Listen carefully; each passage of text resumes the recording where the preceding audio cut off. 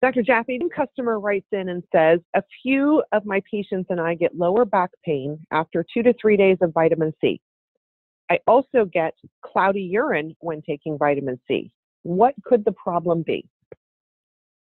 Very important question, and very likely the solution is marginal but significant dehydration, um, as reflected in um, the lack of enough water to keep the metabolic debris in solution. Usually, when you see a cloudy urine, a muddy brown urine, uh, an opaque urine, uh, what it means is that the kidney is filtering a lot of debris in the glomerulus and the loop of Henle. They're very specialized parts of the kidney. The kidney is experiencing distress.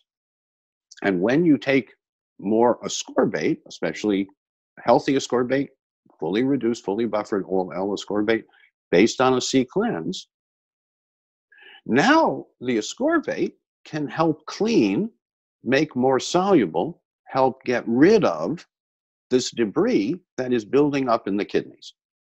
So that's a reason why you might see um, in a partially dehydrated or marginally dehydrated person a cloudy urine.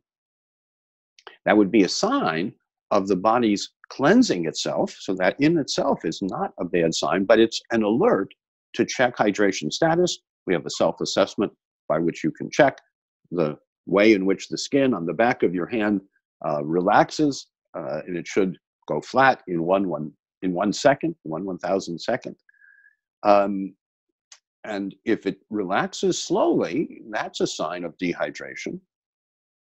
And so the first thing to do, if you have back or flank pain, the first thing to do if you see cloudy urine is to increase your water intake, and I suggest mineral rich spring water or equivalent. And what I suggest is put a carafe on your desk with a glass, and if the glass is full, drink it. And if the glass is empty, fill it. So that means that you'll be urinating every couple of hours while you're awake. You may want to reduce water intake after, say, eight o'clock at night or so, to so you don't go to the bathroom too many times while you're sleeping. And by the way, checking morning urine pH allows you to get up and go to the bathroom. You can't go to the gym or the kitchen and get a meaningful measurement. But if you get up, go to the bathroom, and go back to bed, that qualifies for the six hours or more period of equilibration rest that's needed to get a meaningful urine pH uh, as an index or measure or assessment of magnesium need. And we enhance the magnesium uh, uptake with choline citrate. And if your urine is between 6.5 and 7.5, congratulations, you need two doses a day of Mag Plus Guard and choline citrate just for maintenance today. That's about 220 milligrams twice a day, 440 of supplements is maintenance. Um, and we enhance the uptake of the magnesium with the choline citrate that forms a micellar inverted nano droplet.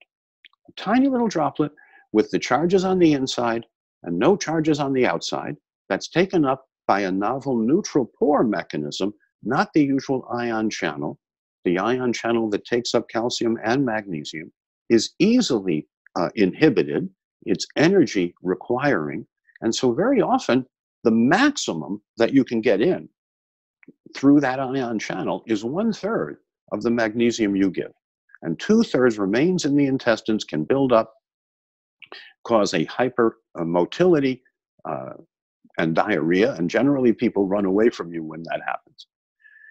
It's part of why we developed and globally patented enhanced magnesium uptake using choline citrate to form these little neutral droplets. Um, and you re- reflect that, you confirm that benefit by checking the urine pH in the morning and bringing it back into the 6.5 to 7.5 uh, healthy range and remember, it's a logarithmic scale. So small changes in pH have a profound impact at the cellular physiology level. So when we measure arterial or venous pH, changes of a tenth or a hundredth of a unit are meaningful in terms of the impact on metabolism, on whether the cell is in protective, elective, synthetic mode, or whether it is shutting down and going into survival mode. So, very important to pay attention to this, very important to stay well hydrated.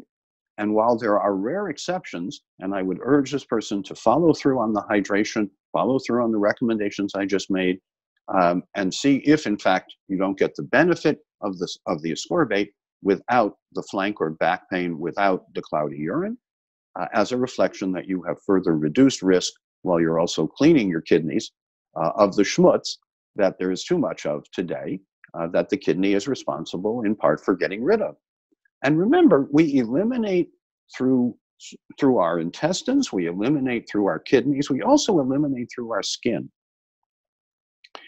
And we'll talk perhaps at another time about uh, how changes in skin respiration and perspiration uh, can reflect stress levels, can reflect uh, toxic matter circulation, and other similar matters. So be well hydrated, be good to your kidneys, let your kidneys be good to you, and you shouldn't have flank or back pain, you shouldn't have cloudy urine, um, but you should clean your kidneys on a regular basis. And to me, that means taking in at least two quarts or two liters of water baseline. That's about eight glasses of eight ounces a day, plus a glass for every adult beverage, for every caffeinated beverage, uh, for every uh, sugared or artificially sweetened beverage. Not that I'm recommending those, but if one should take that, you, your need for water goes up in proportion to those kinds of beverages. Uh, I've noticed when I travel that in many parts of the world, if you uh, get an espresso, they'll automatically give you a little glass of water to go with it reflecting the fact that caffeine is itself a mild diuretic. And if you stay well hydrated, you can still get the benefits from uh, moderate intake of coffee and or tea, chai, black tea. Um, and staying well hydrated while getting the mild boost that you get from a little caffeine or a little theanine or a little theobromine uh, is, is helpful throughout the day. So stay well hydrated, uh, listen to your kidneys, uh, pay attention to what they're saying as we've tried to explain it. And in the very rare situation where that doesn't solve the problem promptly, I mean within days, contact our client services people, contact our health coach uh, team, and we'll work with the individual uh, to see what might be going on in a rare case.